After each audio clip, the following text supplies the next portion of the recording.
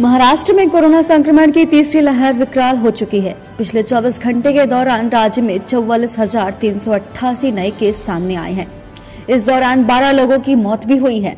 संक्रमण रोकने के लिए आज रात से पूरे महाराष्ट्र में नई पाबंदियाँ लगने जा रही हैं। इसे मिनी लॉकडाउन कहा जा रहा है। नई गाइडलाइंस के अनुसार महाराष्ट्र में रात 11 बजे से सुबह पाँच बजे तक नाइट कर्फ्यू रहेगा। सुबह पाँच बजे से रात ग्यारह बजे तक भी धारा एक सौ चौवालीस लागू रहेगी। यानी दिन में एक साथ, एक जगह पर पाँच या उससे ज़्यादा लोग इकट्ठा नहीं हो सकते हैं। नए प्रतिबंधों के तहत स्कूल कॉलेज आज से 15 फरवरी तक बंद कर दिए गए हैं। हालाँकि स्कूल के ऑफ़िस खोले रखने की इजाज़त है। बिना काम घर से बाहर निकलने पर पाबंदी होगी।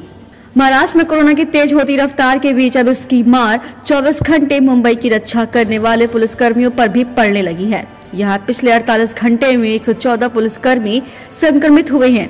इसी दौरान दो पुलिसकर्मियों की मौत भी हुई है। इसे लेकर मुंबई पुलिस में वर्तमान समय में 523 एक्टिव पेशेंट हो गई हैं। मुंबई पुलिस के ताज़ा आंकड़े के मुताबिक तीसरी लहर के दौरान 18 आईपीएस अधिकारी भी कोरोना पॉजिटिव पाए गए हैं। संक्रमित हुए आईपीएस ऑफिसर्स में एक ज्वाइंट कमिश्नर चार एडिशनल कमिश्नर और तेरह डीसीपी शामिल हैं। Bureau report IPN